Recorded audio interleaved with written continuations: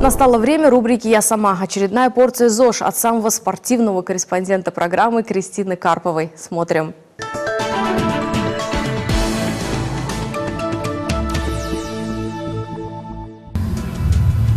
О йоге как таковой слышали все. У кого-то это ассоциируется с индийскими аскетами, лежащими на гвоздях и голодающие по 40 дней. Другие воспринимают это как некую психотерапию для успокоения своих нервов. Для третьих это разновидность спортивных занятий, которые совмещают силовую нагрузку и растяжку. Разберемся, что же такое йога на самом деле у инструктора по йоге Дмитрия. Дмитрий, что же такое йога? Йога – это некоторая система упражнений и практик, которая позволяет а, нам настроить свое состояние. А, речь может идти о состоянии тела, о состоянии ума, как бы привести это состояние в какое-то оптимальное, оптимально возможное, чтобы мы могли выполнять по жизни какие-то свои задачи, быть здоровыми, э, меньше переживать по поводу всяческих неудач своих, если они случаются, они так или иначе все равно случаются. А Как получилось, что вы пришли в йогу и как давно это случилось? Как бы сложно ну, назвать какую-то конкретную дату, когда я сюда пришел, к этому пришел, к йоге. А, Это начиналось очень давно, это были сначала увлечения различными восточными боевыми искусствами, которыми я сначала занимался, потом преподавал, потом было увлечение различными а, психотехниками, всякими психологическими тренингами, которые я тоже какое-то время проводил. Вот. И потом постепенно это перешло к увлечению йогой как какой-то более целостной системы, которая включает в себя а, работу с человеком как бы с различными гранями нашего существования, там, с телом, с умом, там, с тем, что принято называть энергией, хотя я не очень люблю это слово. Вот, а, как бы, мне эта система как-то понравилась. Найдем ли мы на улице тех, кто занимается йогой или кто хотел бы ей заниматься? И много ли людей, которые считают, что полезна йога для здоровья? Проверим. Thank you. Энергию прибавляет человеку, но так усиливает внутреннее состояние. Как и э, спорт и гимнастика, она в любом случае полезна. Это растяжка, это мышцы, это суставы, сухожилия.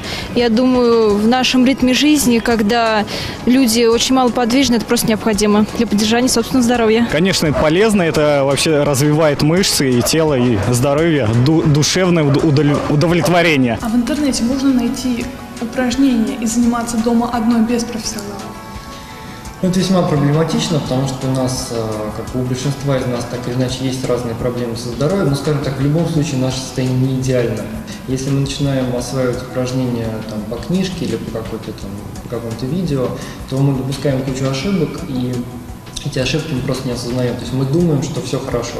Поэтому вначале однозначно нужен какой-то преподаватель, инструктор, который будет эти ошибки корректировать. Сегодня вы мне поможете освоить йогу на каких-то начальных этапах? Ну, я вам помогу по- попробовать сделать несколько упражнений, самых таких базовых, э, насколько мы успеем, чтобы вы просто могли почувствовать, как может работать тело по-другому.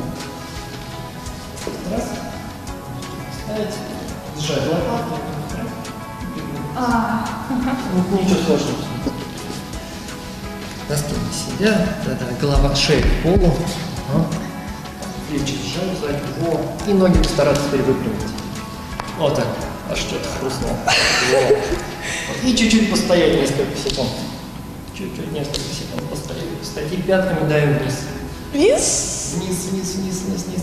Теперь потихонечку, плавно опускаемся. Люди разных профессий будут заниматься йогой.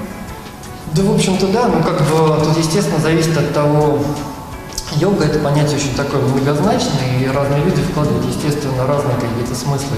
Если речь идет о каких-то такой, о такой здоровой физкультуре, то почему нет? А есть ли категория людей, которым нельзя заниматься йогой? Ну, безусловно, есть такая категория, даже не то, чтобы нельзя, а категория людей, которым нельзя заниматься по общим программам, то есть как бы приходить в группу и заниматься. То есть это люди с какими-то сложными заболеваниями, это люди, которые а, перенесли недавно операцию, естественно, беременные. Мы послушали ваше мнение, мнение обычных прохожих. А что же думает наш эксперт, узнаем.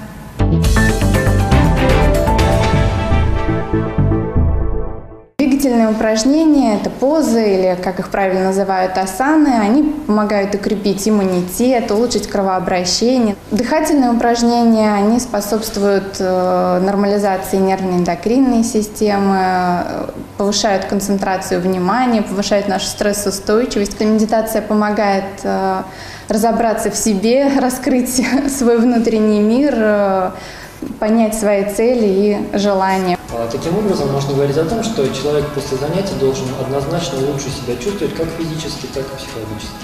Я впервые была на тренировке по йоге и испытала только положительные эмоции. Надеюсь, в очередной раз я стала еще ближе к здоровому образу жизни. Кристина Карпова, Алексей Новиков, Антон Яровой. Вести спорт. Это была программа «Спорт Саратов».